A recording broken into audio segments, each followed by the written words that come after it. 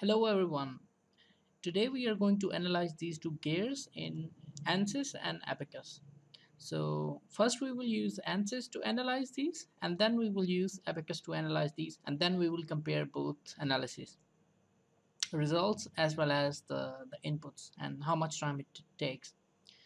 But before we proceed to analysis uh, there are a couple of things you need to do if you are going to have a successful gear analysis so these gears were imported from Camtra uh, Cymatics GearTrax and these distances as well as everything else was calculated by the software GearTrax and so what I did is that I fixed these two in the space and then I created this sketch where these two should be. And now I added the concentric mates so they just get fixed and still be able to revolve around it. And then I fixed their mid planes. So they just they can still rotate but they don't move out in the space. Now this is very critical because when we are going to solve the contact problem for gears they're always going to give you error if there is something wrong or there is not enough gap or not too enough too much penetration. So to have a good analysis you always need, need to have just a little bit of penetration just a little bit. If it's too much then it won't make a contact. And if it's too less then we would still have problems. We would have wrong results anyway. So just to be very careful that it, it's not wrong. Like so it should be barely touching it and not penetrating or there shouldn't be too much gap. Now this one is gonna make the first contact with it and it's gonna show too high stress on it. So I'm just gonna adjust these two. Maybe maybe it will work. Yeah. So I'm just gonna make it a little bit into it. So but never do not be fooled by these these edges. The real edges show up when you click hover over it or you click on it. And we will see when we are at meshing that how these edges can fool you. So one thing you should make sure that you have this image quality at very good. And that then you'll see that it, it shouldn't be at as straight or edgy as it is now. But nevertheless I think we are good to go to the ANSYS and we will start doing it. Just a bit short. Uh, but before we check it that nothing is penetrating or nothing has too much gap in it. So our contacts just don't fool us okay? Let's move to the ANSYS in the ANSYS there are two things that are very critical. Fixing these two in the space and making sure that the contact is established. So and another thing that is very critical is to find out that which of the faces are being in contact. For example if I just use this contact this face for the contact then it would show me it would keep showing me very high stresses at these edges and we will we will check that later on. But for now let's try with this and we will we will just have these two faces and maybe we can add these two extra. And for this one we won't need it.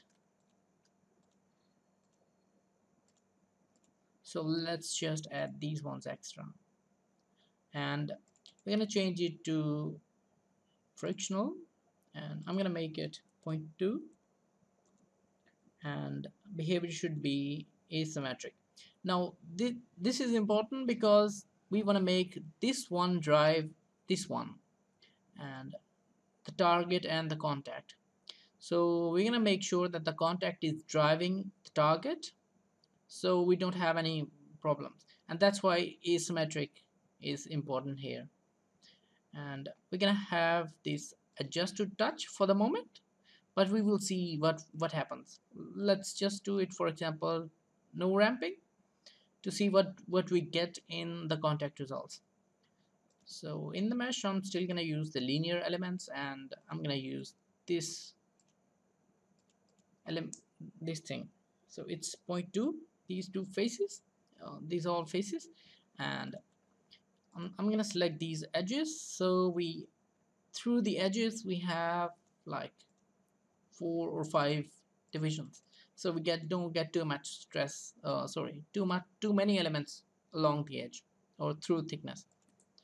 So let's create that mesh and yeah it looks fairly good but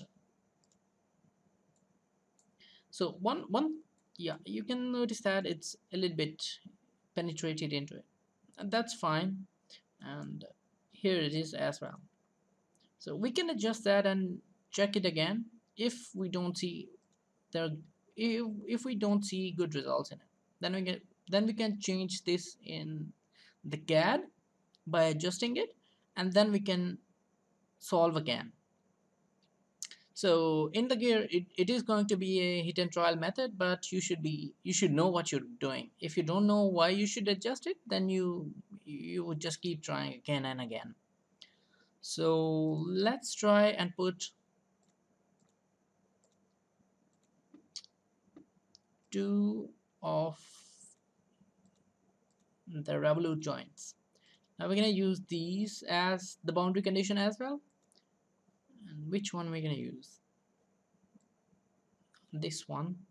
And we use rotation. And as you can see that it's already rotation Z. And magnitude let's say it moves like 6 degrees. Uh, that's too less. Let's say let's make it 12 for now. And in the analysis we're going to use large deflections and direct and substep point one. I will just use it and so we we are ready to go. So we have everything set we have but we haven't checked what is the gap or penetration in the contact. So let's just check it.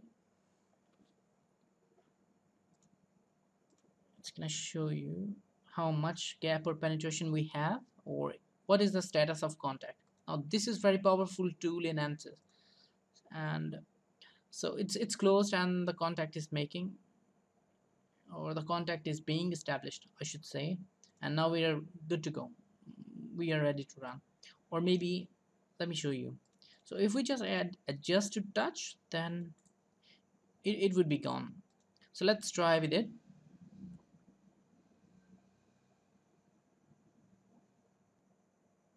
and as you can see that its status is closed and the penetration is uh, very small. Now we, we can run it.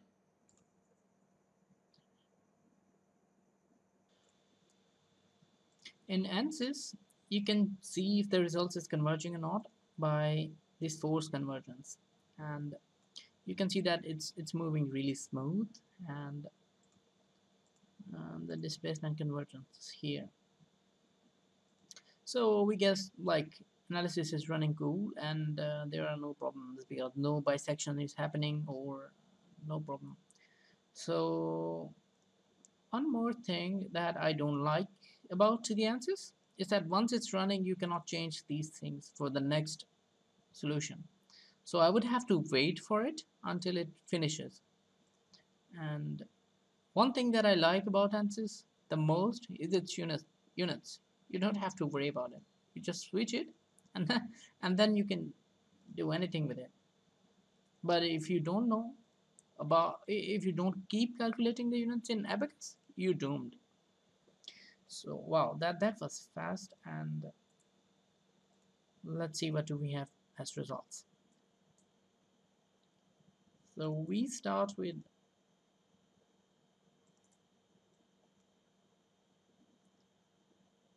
now this looks crazy though.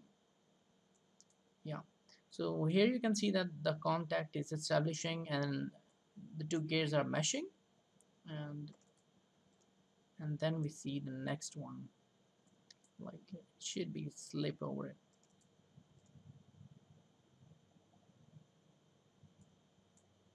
And this is again but the stresses don't seem very nice 0.001 tons kg yeah. There is something wrong and what could it be? Maybe the direction of rotation? But let's see what is the maximum stress? Yeah. Or maybe it's because of the contact. Well we can guess. Anything so let's try with it. Minus 12 and and then we can try with it. Let's run it. And we still have the same results and can you guess why? Uh, why do we have this, these kind of results over here?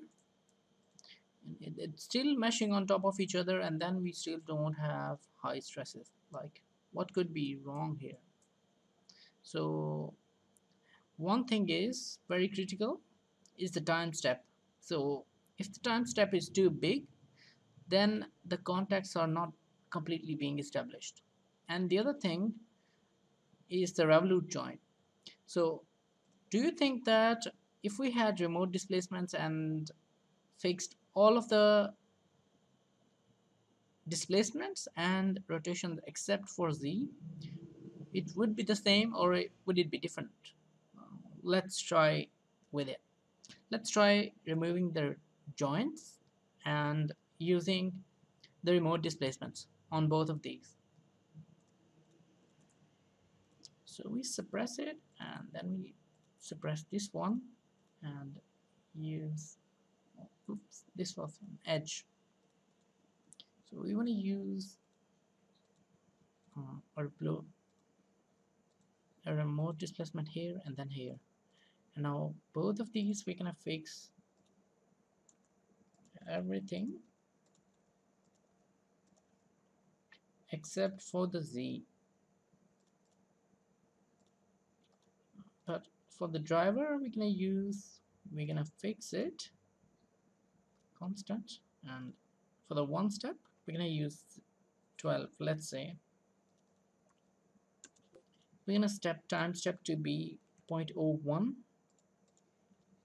and then the same is 0.01 now let's try again.